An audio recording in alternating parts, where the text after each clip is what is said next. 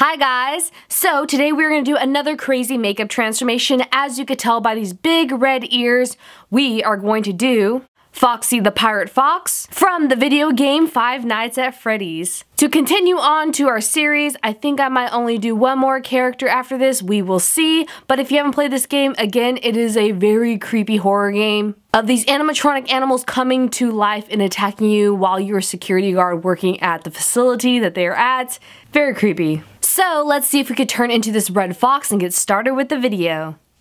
First, I'm going to take off these ears, but we will put it back on later. I just want my hair out of the way so we could paint our face. Putting my hair up in like a low ponytail, I actually did this weird like Asian type little bun style on the back of my hair and put the top portion in a clip of the excess hair from the mini lower bun. It kind of reminds me of one of the soldiers from Mulan, just like a little bit. And I used some hairspray to tame down all my baby hairs and extra bangs and strays, even though they can't be tamed. They got a mind of their own. Then instead of shaving off my entire eyebrows because I kind of need them, or want them I should say, I'm to smooth them down with some glue sticks so that we could paint on them later. Doing layers of purple glue stick and doing layers of powder in between that. I'm doing about three layers for my brow hair density. You could get a hairdryer to speed up this process of the eyebrows. Then I'm getting a white eyeliner pencil and starting to outline all the intricate details of Foxy, the Pirate Fox. From Five Nights at Freddy's, I'm starting off with the brows and then doing the eyes. Well, I should say eye. This fox is actually a pirate, so it has an eye patch. And I'm making sure that my eye shapes stop above my actual eyelid when I close them and doing the nose of the fox above my natural nose. We're gonna get intense. This is almost like that Venom from Spider-Man makeup I did a while back. And then doing the teeth around my lip area. And then we're gonna drop down the bottom jaw to our neck and chest area. It is such a challenge to make your makeup go down, not just on your face, but on your neck and chest area. But we're gonna try it and see what happens. To even challenge myself more, we're going to do a special trick, but before that, I'm going to paint my ears with the aqua black color so that they disappear and blend into the background. And now it is time for a makeup special trick. I'm to get two different types of products, one being liquid latex and the other being Pros-Aide. Instead of Pros-Aide, because it's kind of hard to get and very tough to get off, you could use spirit gum for this, but you might need a little more spirit gum than you do Pros-Aide. I got these small like disposable shot glasses off of Amazon because they're great for products for special effects makeup. So I'm starting off with the Pros-Aide and gluing these cotton balls together because we're going to make Foxy's big, large whiskers. I couldn't find a prosthetic that was the shape of this, so I'm making them myself, gluing cotton balls together. Prepping some tissue paper by tearing it apart and getting it down from two ply to one ply because we need them in really light thin layers. Gluing those cotton balls to our face with some Pros-Aide and then we're gonna get my least favorite material which is very stinky which is liquid latex and putting that on top with a disposable makeup sponge and then layering some of that one ply tissue paper on top of that. This is going to take a lot of patience. You might want a friend who you really trust to not get this in your hair to do it for you because doing this by yourself is very difficult. Making sure the edges and the seams of the tissue paper go down nicely with the liquid latex between the cotton and the tissue and on top of the tissue is extremely difficult. Girl, I had to get me my little princess mirror and use it from behind to make sure I had enough liquid latex back there so that it won't fall apart. These layers of liquid latex is going to act like paper mache. You want it to be some sort of hard substance when it dries so you could paint on top of it. And you want these to be kind of like cone shaped semi. Look at the reference pictures of Foxy the Pirate Fox to make sure you have these correct. Make sure it's all covered with liquid latex and seamed down nice. And please do not get this in your baby hairs because I got some of my baby hairs and later on when it comes off it's not a fun process of taking it off. For some reason while I'm doing this, it looks like I just shoved hard-boiled eggs onto my face and they're really creepy looking. Like it looks like something out of the X-Files, like a secret case, like this person mutates weird forms on their faces, but I kind of like it. It was really difficult to do this process, but challenging yourself is always the best because you learn so many things. Who knew you could make prosthetics out of cotton balls and tissue paper with some liquid latex? And no, I am not naked. I do have the usual wrap thing on when I'm doing body painting like this. Just FYI.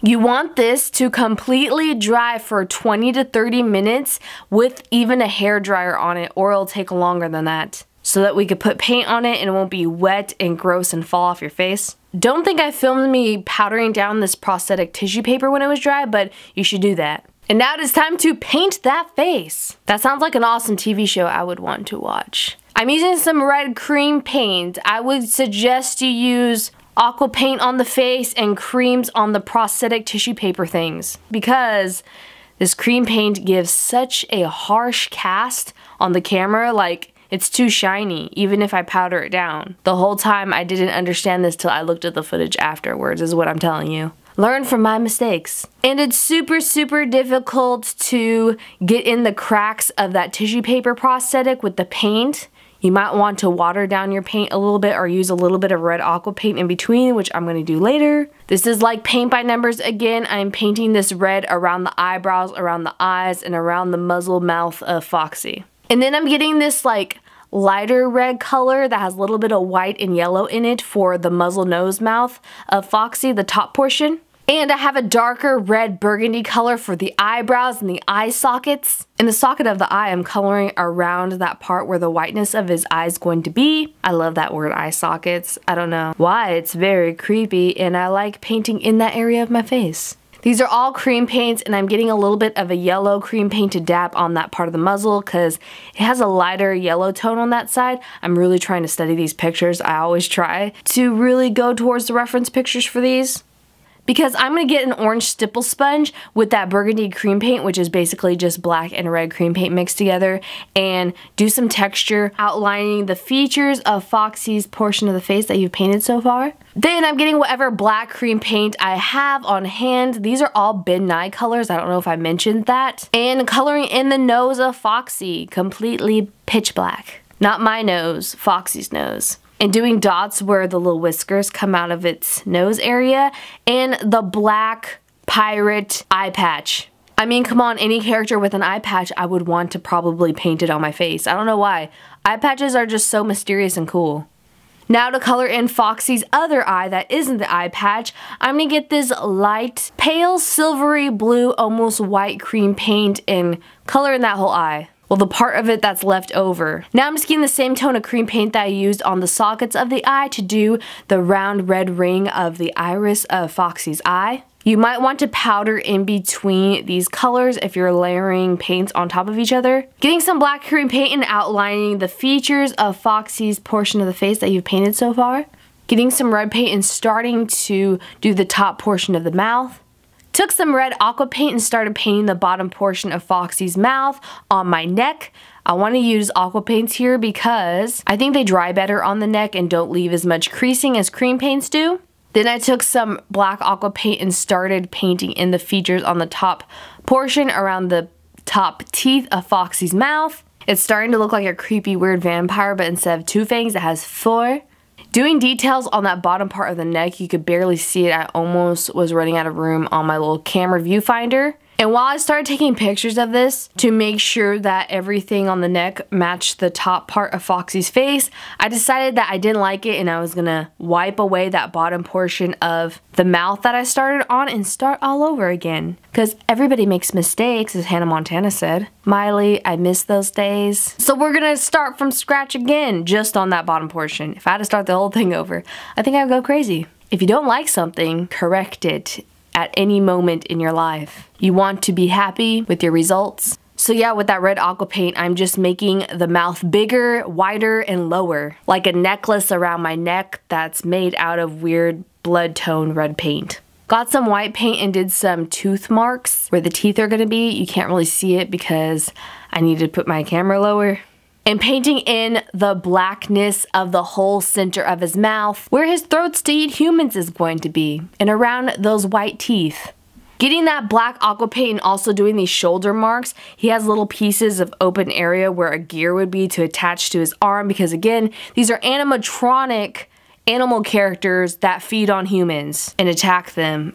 Now I'm just getting some red aqua paint and painting in the rest of my body on my shoulders and chest where it's bare. You really want your paint to not be too watery and drip everywhere. It's really easy to get it too watery when you're painting over large portions of your body. You want it like a creamy consistency with not too much water, but if you do it too thick, it will skip and not come out good.